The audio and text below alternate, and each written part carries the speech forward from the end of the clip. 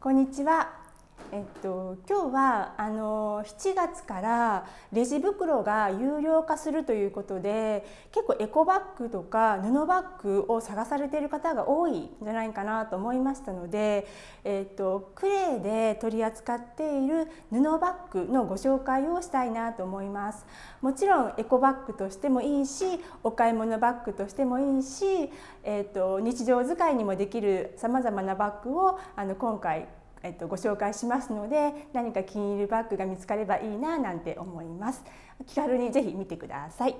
まず、えーと、布バッグといえばアルディンというブランドが思いつくと思うんですがそこからはまず2つご紹介したいと思います。まずこちらのクロスバッグ。結構ね人気のアイテムでリネン100%のアイテムになってますね。でこのバッグのいいところはあのまずまここにね肩にかけれるっていうのもそうなんですけど重い荷物を持つとだんだんこの角がね結構擦れたりとかすると思うんですがまずここの角のところがあのまたさらに布を当てて強化しているっていうところとかあとここの裏側もテープが貼っていて強くなっているというところとかあと中の始末もすごく綺麗で耳も綺麗にこうほつれないように始末されております。本当にあのよくできたリネンバッグですね。でも早速この中には重い重いものが入っております。えーと、とこういう洗剤入れてみたりとかしております。結構重いものを入れてもこんな感じの沈み方になります。なので、えっと、日常使いでもいいしお買い物とかとしても使えます。ちなみにこのクロスバッグもともとの生地はこういう生地なんですね。もうね比べてもらいたい。この生地ともうこれは折り上がったまんまの状態の生地とこれを洗いをかけていくとこんな風に柔らかく目が詰まってくるんですね。同じ生地です。なので、まあ、これはクロスとしても販売されてるんですけどこれを洗っていくとこんな感じになります。であの汚れてもどんどん洗って使ってもらえるのであの本当に気負いなくどんどん、えっと、使えて嬉しいアイテムじゃないかなと思います。こちらのお色はこのネイビーのタイプとそして赤のラインのタイプ2種類あります。でこのカバンの良さは本当どんどん洗っていくと本当にくたくたとなってあの柔らかくなってくるのであの店頭のお客様の中ではこれをもう本当にちっちゃくちっちゃくまださらにちっちゃくまとめることができるんでちっちゃくして本当にマイバッグに入れて、えっと、サブバッグとして使われている方も多いです。結構重要あのたくさんものも入ります。そしてもう一つアルディンさんといえば昔から出ているレコルトバッグというこういうね四角に近いバッグになります。このバッグもあの本当に便利で、えーと、シンプルな感じなんですけど洗って使っていくとちょっとくたっとなってきてこれもいつの間にかこう肩にかけれるようになります。初めはまだあの折り目がしっかりこう硬い感じなので肩にかけるのちょっと窮屈な感じするんですけどあのどんどん使って洗っていくと気軽に肩にもかけれます。こんな感じですね。ちなみに先ほどのものもこちらもマチはついておりません。はい、で早速私はこれを先日買いまして1日洗ってみました。これが私の私物です。なのでちょっと見てもらうとこれ新品な感じでそしてこれが1回洗ってもう使っている感じになります。なのでもう全然こう素材感が違っていますね。こういう感じになります。あのうちのスタッフは昔これにパソコンを入れて持ち運んでおりました。結構人気のあるカバンです。これもちっちゃく畳んで畳んでもう本当にもうコンパクトにしてカバンの中に入れることもできます。はい、こちらの2つがまずアルディさんの布バッグになります。そして次にこちら何回も登場しているメルシーというとっても可愛いあのエコバッグ。エコバッグっていうかショップバッグになりますね。これはパリのセレクトショップのが出しているオリジナルのカバンなんですけど色展開がものすごく可愛くてブルーとかイエローとかピンクとか幅広くありますでこちらのバッグはもちろん肩にもかけれますしなおかつマチがねこれは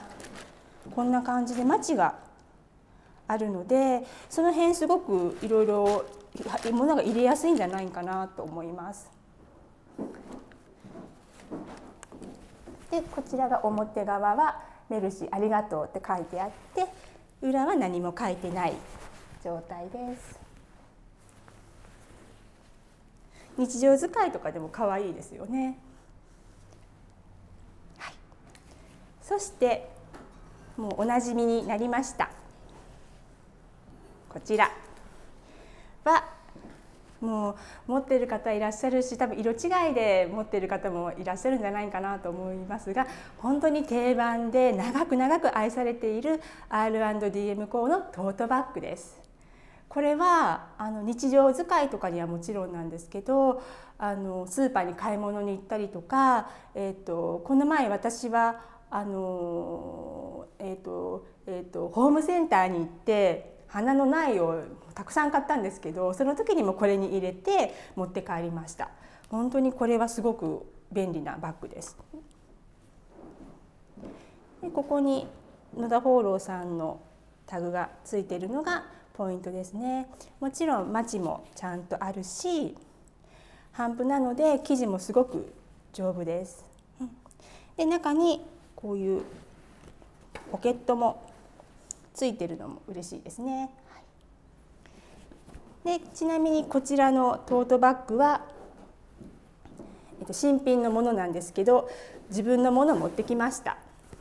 もうこれ5年6年7年使っててこんな感じでもうくたんくたん初めは仕事バッグで使ってたんですけどもう今は仕事バッグをやめて、えーと、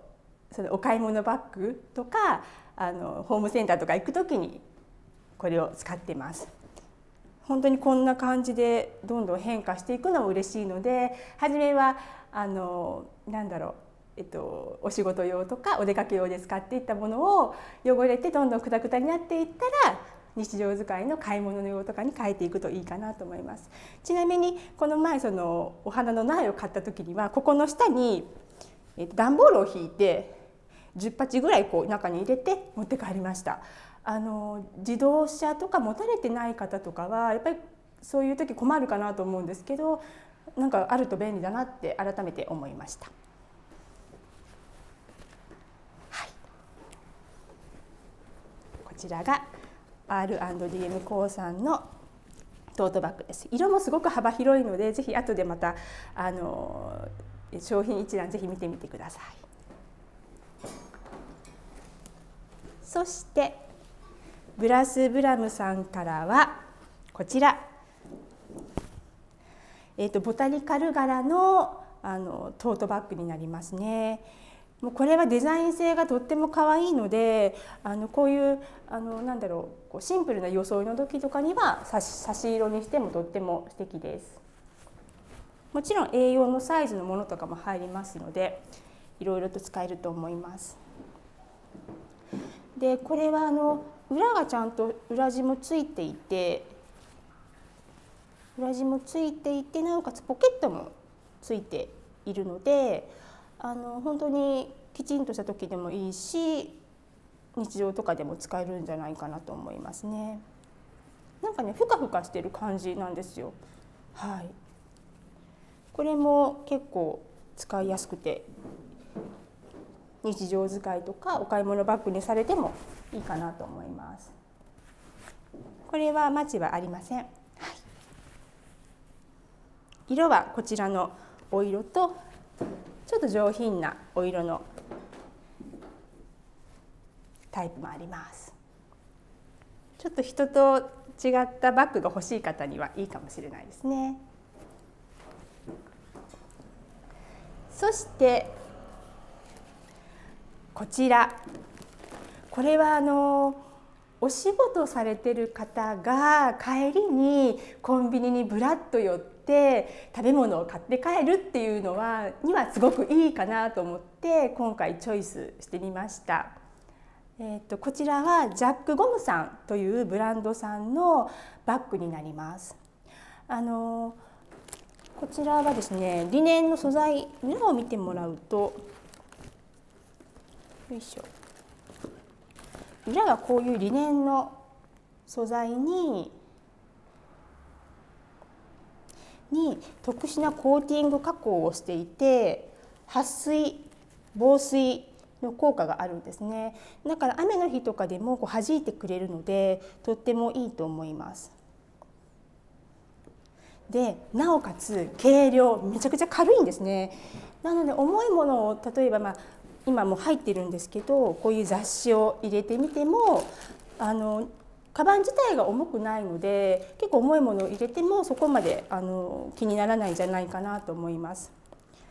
今はカバンが入ってたりとかこういうあのメイクポーチ入れた状態がこんな感じです。やっぱり OL さんとか一人暮らしの方は仕事帰りにコンビニに寄って食べ物を買うその時にもう普通にポンポンってここに入れてあげるだけであの収まるのはすごく便利なんじゃないかなと思います。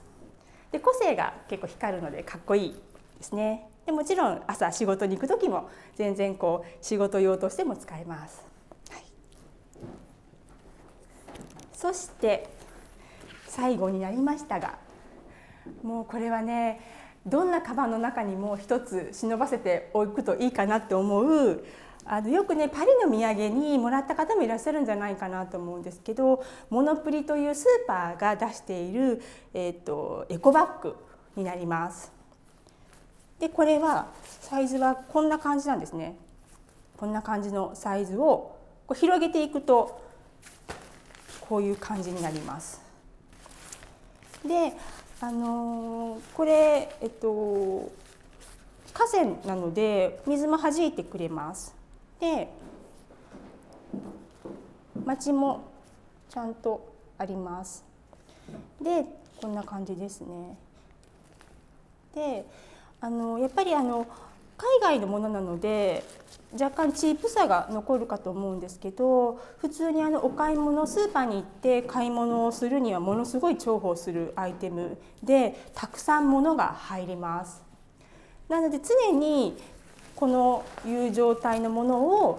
こういうカバンとかに入れておくと何かあの買い物をせざるを得なくなった時とかもう一個カバンが欲しいなとかいう時に結構便利だと思うのであのエコバッグとかカバンとか選ぶ時に一つこちらもあのおすすめしたいなと思います。で私もこれプレゼントでもらったことがあるんですけど雨の日にはもうこれをカバンとして使ってましたもう本当に安価なのであのなんか濡れてももう気にならないし汚れてももういいかなという感じで気軽に使えるアイテムになってます。本当ぜひ一つカバンに忍ばせてあげてください。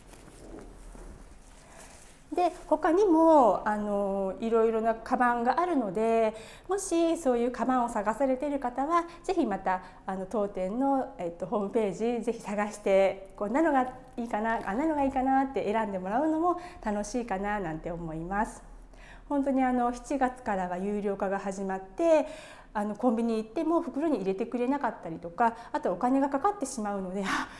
入れるものがないって思う時にこういったものを事前に用意しておくとあのすごく重宝されるのではないでしょうか。はい。ということで、えーと、今回はあのエコバッグのご紹介をエコバッグと日常で使えるカバンのご紹介をさせてもらいました。少しでも参考になると嬉しいなと思います。では引き続きチャンネル登録などよろしくお願いします。最後までご覧いただきありがとうございました。